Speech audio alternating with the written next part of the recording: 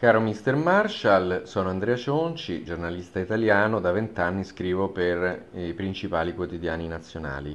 Da quattro anni mi occupo a tempo pieno dello studio delle dimissioni Benedetto XVI. Ho pubblicato 900 articoli, 950 podcast, ho fatto 132 conferenze, ehm, ho pubblicato un libro che ha vinto la Coach Ratzinger, eh, che ha vinto due premi giornalistici eh, non ho particolare interesse nel mettere a repentaglio la mia reputazione professionale per scrivere stupidaggini.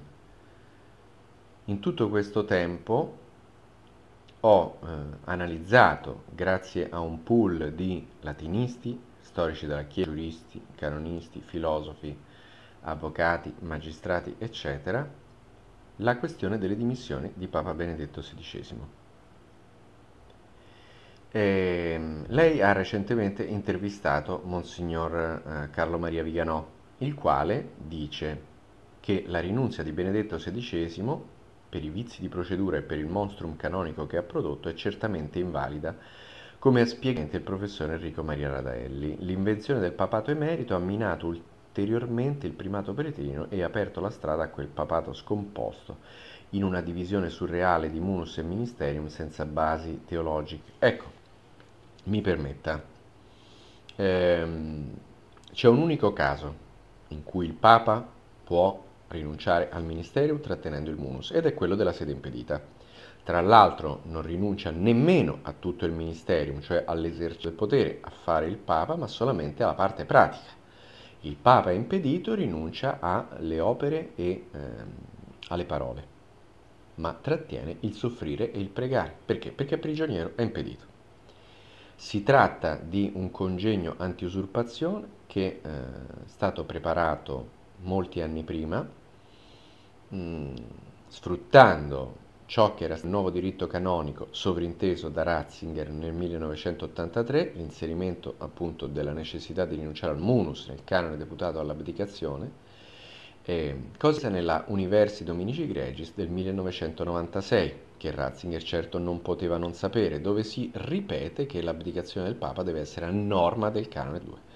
Questa Universi Dominici Gregis viene ulteriormente emendata con il motu del 22 febbraio 2013, quindi Benedetto XVI non poteva non sapere che il Papa deve rinunciare al munus per abdicare, ma lui non voleva abdicare.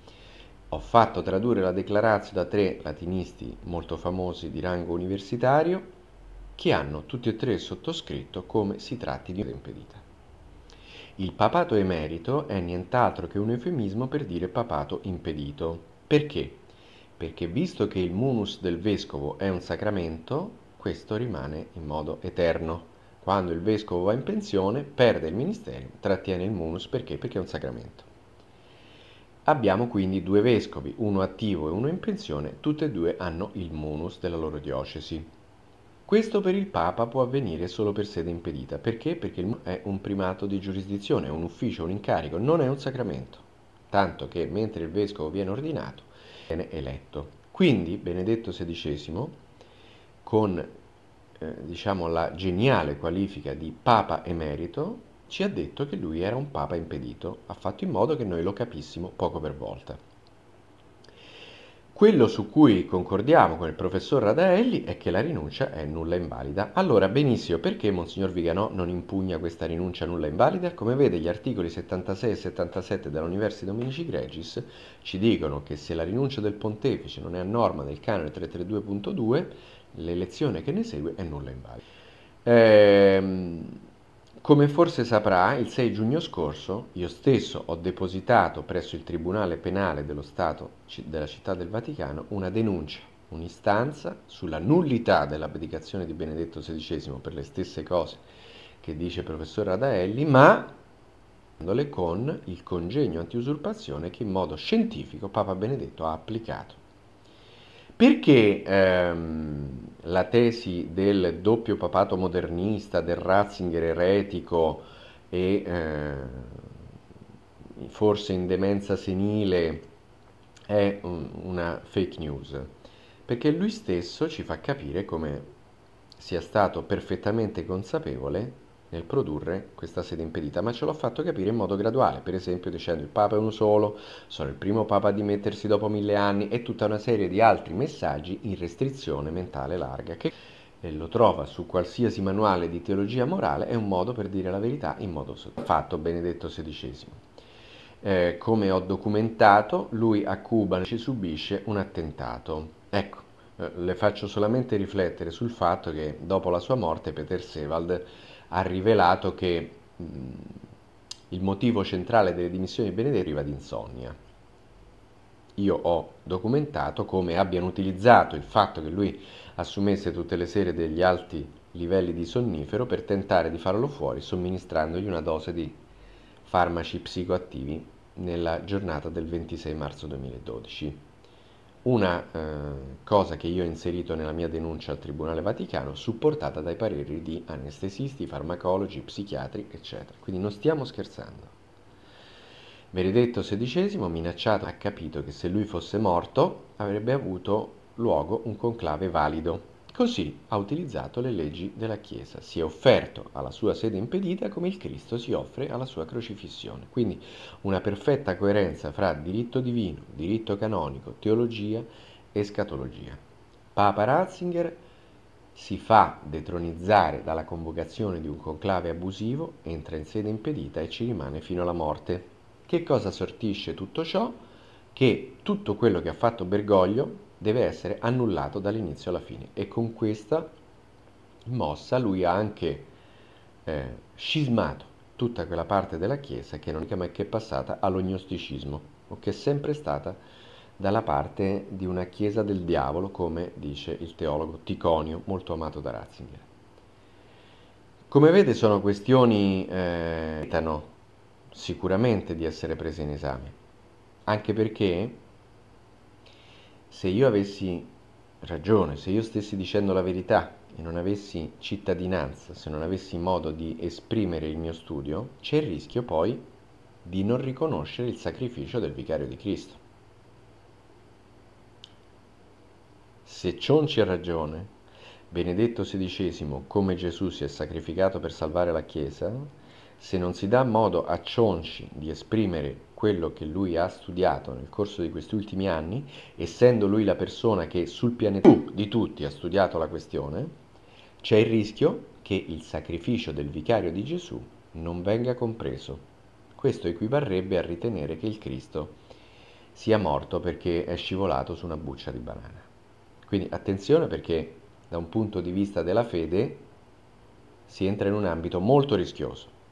Per questo io le chiedo se volesse farmi la cortesia di ospitare un'intervista al sottoscritto, parleranno per me due persone qualificatissime, professore della John Cabot University o una dottoressa in filosofia perfettamente madrelingua, io purtroppo non ho una conoscenza dell'inglese sufficientemente fluente eh, per rispetto dei suoi spettatori, mi affiderei a queste due persone le chiedo di pormi delle domande sulla questione della sede impedita di Benedetto XVI e del mio studio e di darmi cittadinanza, come è stata data fino adesso, anche ad altri studiosi delle dimissioni di Papa Benedetto.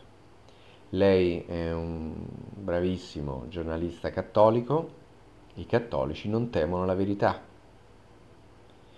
Eh, ribadisco, il mio studio è talmente documentato, talmente serio, che mi sono esposto in, con cinque avvocati eh, nel depositarlo presso il Tribunale Penale della città del Vaticano. Eh, concordo sul fatto che la rinuncia di Benedetto XVI sia nulla invalida, considero che il professor Enrico Maria Radaelli sia completamente fuori strada sul perché questa declarazione di Papa Benedetto è nulla invalida. Attenzione perché eh, c'è anche il rischio se non mm, si dà modo di sentire l'altra campana, che si affermi questa versione di un Ratzinger eretico, modernista, rimbambito, eccetera, che scredita in modo orribile la figura del Papa, del Santo Padre Benedetto XVI, ma anche di tutti i papi precedenti.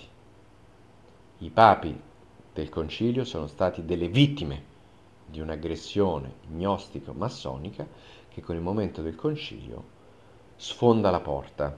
Quindi sono due visioni molto diverse.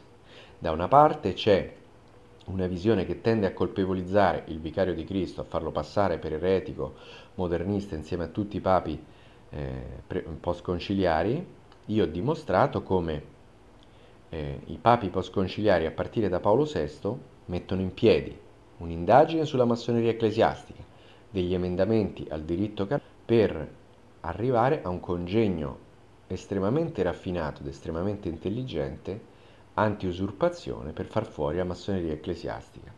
Purtroppo nel mondo tradizionalista, specie purtroppo anche americano, ci sono dei blocchi da parte di alcuni gerarchi che non vogliono che questa questione della sede impedita esca fuori. Perché?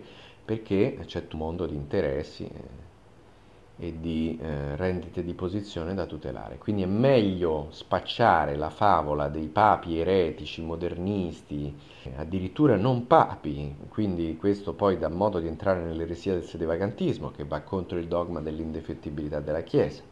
È meglio questo piuttosto che non riconoscere il sacrificio gigantesco che ha fatto un santo come Benedetto XVI.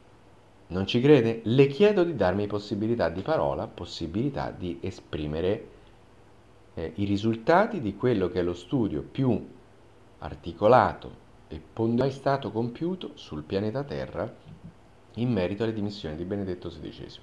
La ringrazio per avermi ascoltato fin qui, un caro saluto a lei e a tutti i suoi spettatori. Da Roma, da Andrea Cionci.